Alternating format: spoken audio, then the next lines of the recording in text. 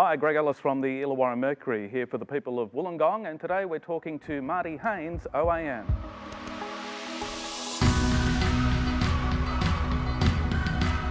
This segment is brought to you by Access Law Group and the Illawarra Mercury. Marty, thank you for joining us today. Thanks, Greg. I want to go right back to the beginning to start off with and get a little bit of the background of Marty Haynes. Where did you grow up? I uh, grew up in uh, Dundas, which is just near Parramatta. Uh, went to a little Catholic school called St Bernadette's at Dundas Valley and then went on to Marist Brothers. But I only went to year 10. Yeah, I left school and I, I, I remember my mum taking me to the cricket at the SCG and a friend of my brother's was a cameraman for Channel 9. And I went up to him and started talking to him. He said, oh, do you want to have a go? So during a break of play. So that's what I did. I had a go at the camera and when I walked back to the chair with Mum, I said, oh, that's what I want to do. I think I want to become a cameraman. And you worked on some of the iconic shows like Midday and Hey Hey It's Saturday and it, some of those? It's yeah. really funny, Greg. It's a, uh, I'm a big believer of, like, you have a bit of a vision board, have a bit of what you want and put it in, into your mind. And I used to come home at, from school at lunchtime because I only lived not far from the school. So at lunchtime, I'd ride my bike home and have lunch. And I used to watch, watch the Mike Walsh show. And I always thought to myself, I'd love to work on that show. Well, the first day at Channel 9, I was positioned to work on the Mike Walsh show. You know, eventually I became a cameraman and I worked on part of that in the midday show and worked on 60 Minutes and a current affair and a lot of Wild Water Sport. Uh, you know, I toured uh, Australia with the cricket for many, many years uh, and, and, and loved it. Anything to do with sport I, I shot, so it was, it was great. And you had some great mentors during that time. I know another conversation I've had with you before was uh, Graham Kennedy and the connection you had with him. Yeah, I, I, he was a real father figure to some of the, even though he's such a private and recluse uh, person. I, I, worked on, um, well, Kenny Sutcliffe had been chosen to work with Graham on Coast to Coast back in 1988.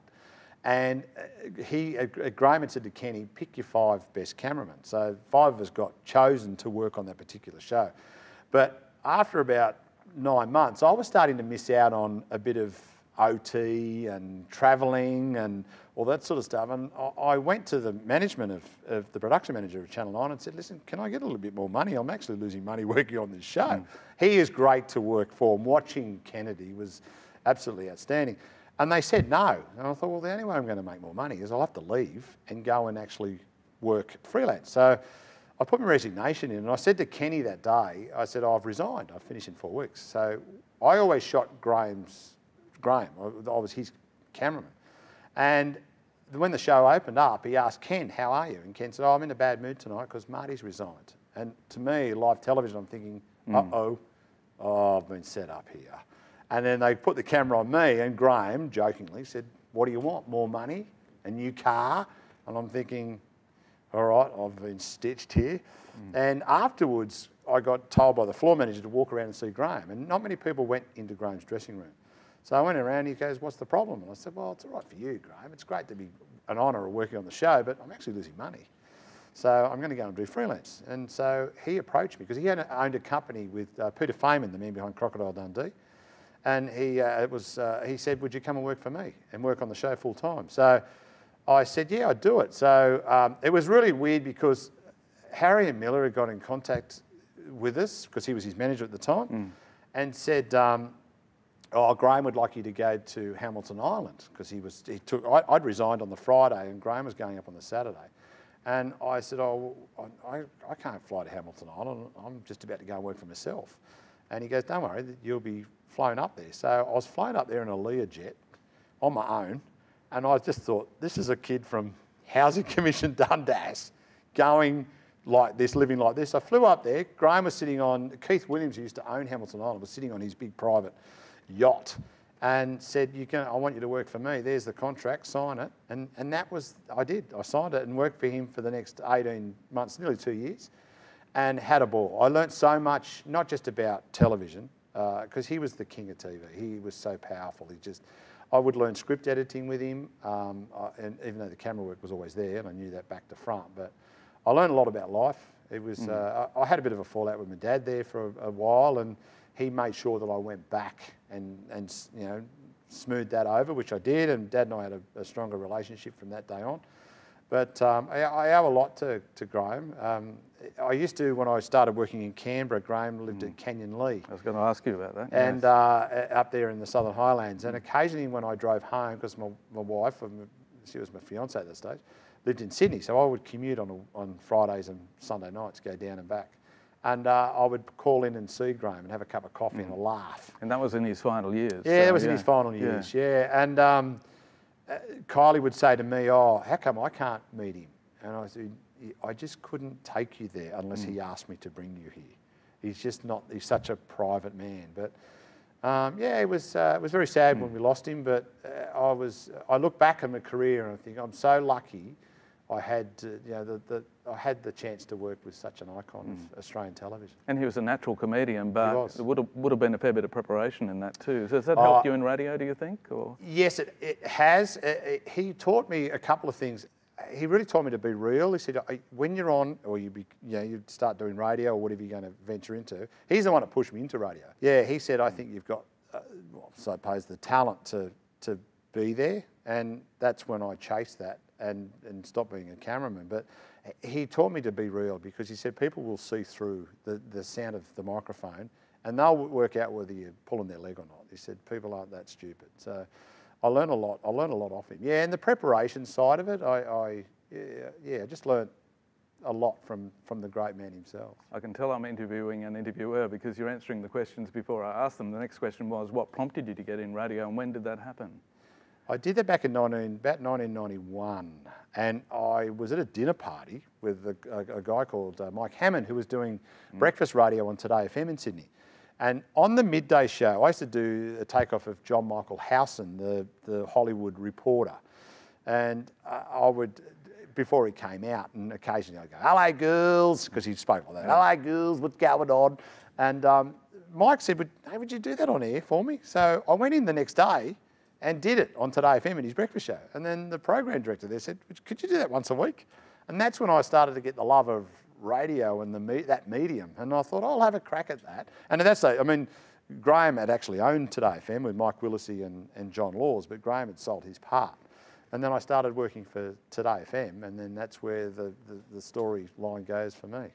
So you came to Wollongong in 2002. What, what prompted you, because you were su- successful in radio down there, what prompted you to come here? Oh, it, it, my dad was quite ill, and we just had our two uh, kids. Uh, Taylor was about nearly two, and Jackson was just born. And I was on air with Erica, Erica Hodge, and E- Erica and I would won the top award for best on air team in in our division, and Nationally? nationally, yeah, yeah, nationally, yeah. yeah, And um, the team from well, Win Radio, I98 FM, uh, Phil Giblin had uh, made a phone call and said, "Would you be interested in coming down here?" And at first I went, "Nah, not really. We're pretty close." My wife had a great job with the Canberra Raiders. Uh, she was their event director, set up Super League. So we had, you know, we both had very strong jobs and. We had a nice little family, a nice street. It was it was fantastic. So I had no plan to move. But then I started it put it in my head. Okay, well most of our family are back in Sydney. Kylie's mum and dad are in Sydney. Why don't we make the move? Why not? We, nothing is holding us back in Canberra. It's mm. just really our job. So that's why we made the move. And and you know that's it was back in 2002. And Kylie Ann had some connections here in the Illawarra? Kylie Ann's got cousins here. Yeah, Yes, she's got an auntie that lives at. Uh, well, she's now passed on. God bless her. But uh, Auntie Carol, as we knew her, Carol Haig. She lived. Uh, she lived at uh, East Beach in uh, Atunga Avenue, and that's where I first we went. We lived for six months. We lived with her when we first came here. I get the feeling you'll never leave now that you're. Uh, yeah. I've got to love the place. So It really is. It's it's a place. You know, I don't want to leave. I could, you know, when radio moves on and I go and do something else, well, I'll still live here. I love it. I love it.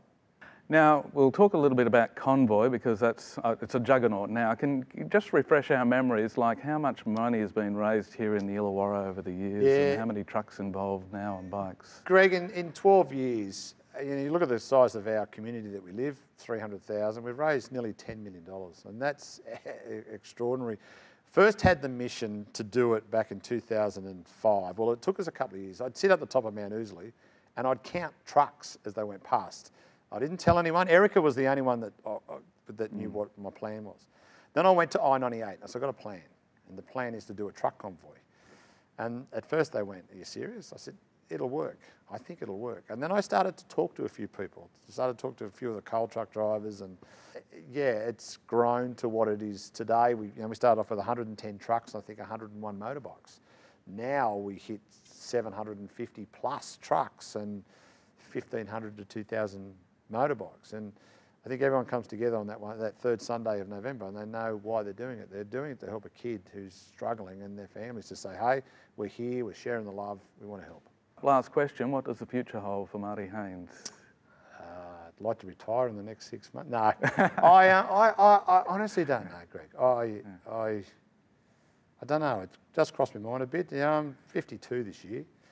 So I, I suppose I've got, I've got another 12 months of my contract, so I'll work it out within that 12 months whether I, I, I would still stay here in the Illawarra, but I, I don't know. I work for a great company. I mean, the WIN organisation are absolutely fantastic. I cannot fault, they've been fantastic to me and my family, you know, and I pay them a, a lot in return for what they've done. You know, they've let me do convoy and, and that sort of stuff. And they've invested a lot of money into that. But that's not just the only thing, but just even support of me and my family as, as a whole. It's, it's, and that's why, and that's why a lot of people, it's particularly in i98, have all stayed there for so long. The likes of Marjay, Ryan mm. Cram, because we've, yeah, they look after you. It's like a real family, you know. And we've yeah. got such a great team, a team there that I don't know. I, I don't know. That, that, it doesn't get any easier getting up at four every day, but you know, there's some great rewards out of it. It's well. a great town and region. Why wouldn't you, well, why would exactly you want to right. leave anyway? So but, uh, and then we've got great facilities like this. So in saying goodbye and thanking you for coming on, I'm going to let you look at the camera over there, and uh, you can sign off and say goodbye. You can do a Graham Kennedy or whatever you like, oh, or John Michael Just, uh, hello, girls. but uh, on behalf of Greg and myself uh, in the loop, we uh, thank you, and hopefully you can listen to us on i98. In the Loop Wollongong is possible because of the support of our partners. So please show some love to our media partner, i98 FM, playing them sick beats all day long. Are made possible by partners at Wollongong Central. Discover the city. And do some retail therapy. Yes. The University of Wollongong, great place to learn. Lots of ducks. So much learning being done there. so much. Advantage Wollongong, a superior business location. Destination Wollongong. We love go. Love it. Love it. Access Law Group, resolution is our solution. Kaizen Business and Financial. Lancaster Law and Mediation. Illawarra Mercury. Internetrix. Relativity. Displace. Right here. our promotional partners, who you can see here. And our kitchen partners. Thanks for watching and we'll see you next time on In the Loop Wollongong. Bye.